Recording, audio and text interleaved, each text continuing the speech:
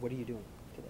Oh, we're reading uh, uh, Reading for the Battle of Books? You're reading it during your lunch period? uh, yeah. Okay, thank you.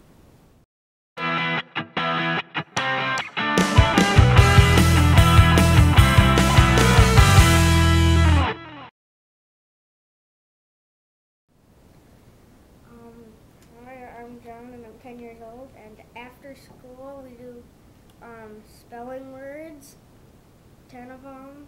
We have to study them. And then we always have a math sheet. And we this one's about fractions. And after school, we always have something called a reading log.